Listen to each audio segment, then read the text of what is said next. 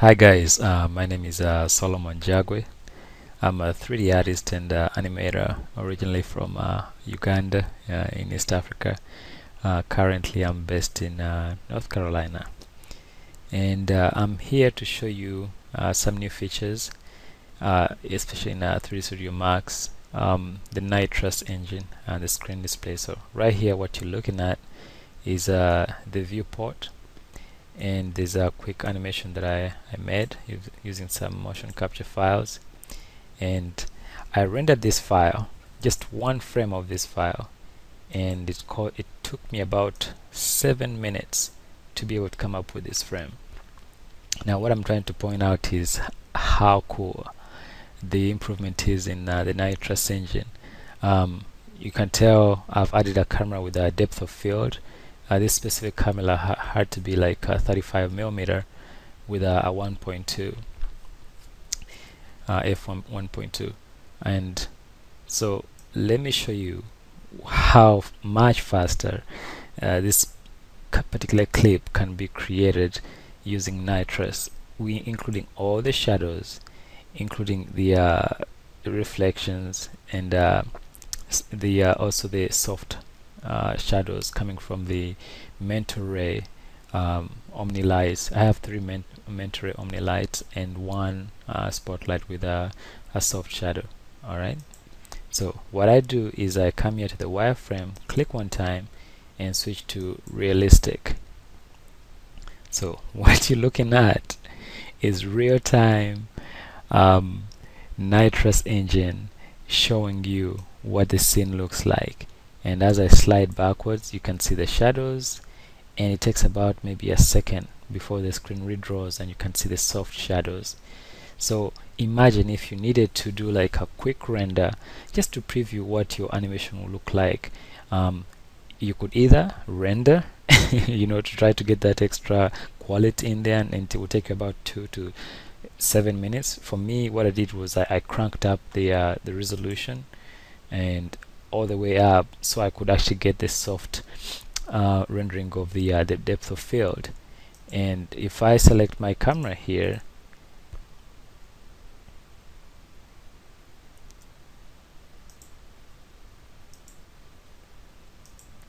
and go to the properties you can see uh, the lens is about uh, 27 uh, millimeter and the depth of field is enabled and you can see it's at an f-stop of 1.0 and yet if I move this and then instantly you can see the depth of field being calculated. And I can also zoom in a little bit more. Give it a minute actually not even a minute like seconds. And you can see the depth of field. So I encourage you to utilize uh, the nitrous engine wherever possible to do like quick uh, previews. And you will not be disappointed. If I were to go into the uh, configure viewports and you go to the uh, display perform no actually visual uh, style and appearance you can crank this uh, either all the way down and you can see the difference in the uh, the shadowing how much it's kind of a little bit granulated and pixelated. And if you go back to configure viewports and you crank it up all the way to the top very high quality and you say you can apply to the active view and say okay. And uh, just uh, less, less than maybe two three seconds you get this nice render. So what can you do with this? Uh, you can go to the tools menu up here and go to view views grab viewport and create an animated sequence. And what it will do is when you do this it asks you you know what the percentile is you want to use all of the render settings. And right now I'm using 100% or you can do 50% and also set the uh, the frame rate and the range. So I was able to actually do that and render out an animation that looked really cool. And I'll load uh, After Effects real quick. Let me pause this. Alright so let me uh, load After Effects and show you a sequence of images that I rendered uh, from I rendered from frame um, 0 to frame about uh, 174 and this was using this uh, camera before you know I played around with it and moved it back. So it's about this right here. Okay? And so here goes. This is the file.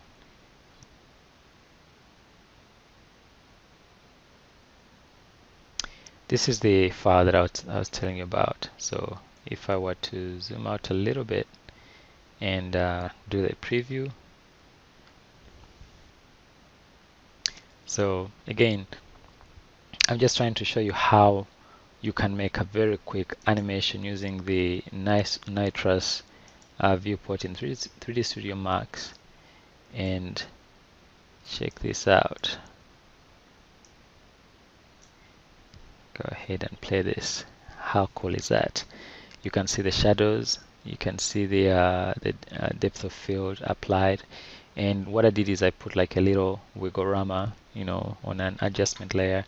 But everything else that you lo you're looking at here is from the nitrous uh, viewport grab as a sequence of uh, images. And what I used was uh, PNGs so in just a quick you know short period of time you're able to or at a short period of time you're able to render out a quick animation that you can show to your art director or even the client so I hope you enjoy this feature. Thank you again. My name is Solomon Jagwe. Uh, my website is www.sowl.com s o w l.com thank you so much. Autodesk bye bye